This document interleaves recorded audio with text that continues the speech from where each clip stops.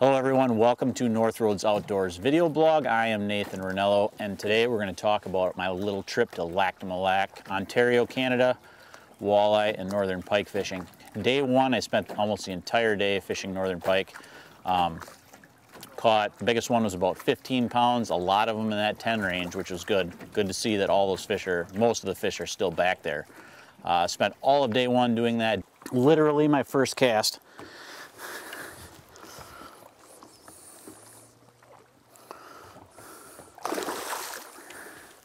I wouldn't say giant, but a real nice fish. Right there. Get a look in there. Can you see that? That's what that BBZ, that's how they eat that thing. They choke it. It's unbelievable. Just one last look at her, guys. I'm gonna get her back. Another beautiful fish. In case you're wondering, all I'm doing is going from boggy area to boggy area, right up the lake, moving along these. I'm back in a cut. We call it the blowout, go through the blowout um, toward Owl Island, up there that, that way. But I'm looking for those boggy areas, shallow, muddy areas. I'm hitting them, run through them, done, gone to the next spot. Trying to put a pattern together and we're moving. What I'm looking for, I'm back in these cuts, um, looking for weedy bays. In front of me I got a big bog area. Um, I'm looking for weedy bays, shallow muddy bays. That's where these pike spawn in the spring. They're done spawning, obviously, because we're looking at uh, Memorial Weekend right now, but um, they're still in here. They're in the area yet, so that's what I'm looking for. I've picked up a couple really nice fish back in here yet. Um, not getting a lot of activity in here, but I think that's where the majority of them still are is back here. I'm gonna hit some main lake stuff tomorrow main lake stuff tomorrow and that'll give me a gauge to see how far out they've moved. But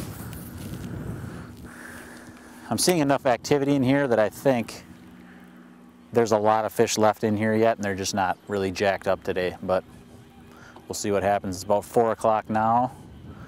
Got about four hours to go, so.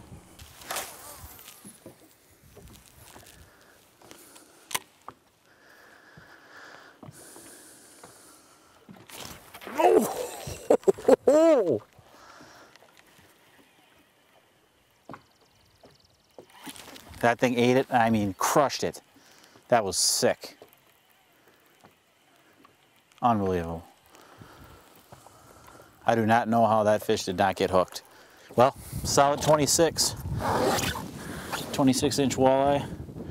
Big walleyes. That fish came up shallow in some rocks. Um, three, four feet deep real shallow, rock and weed. BBZ 1 6 inch Yahtzee, gone. Walleyes are snapping. Dad has, Dad's caught, uh, well, Dad and my two brothers. I think they've got six or eight that they've kept so far, plus a bunch of other ones, a couple overs. So that bite's good. I want toothies, big toothies. There she is right there. Little one.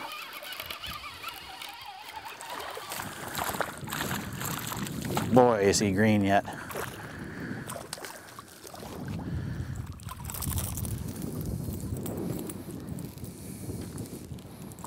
That one bit it like a big one. So what, what we got is temp, water temps are running back here, 58. It's the warmest I've seen so far. Um, and finally getting some more bites as we get back into this. So maybe the sun's to get them triggered, maybe a little bit warmer water. Um, but we're to keep going and uh, bring some more action to you here.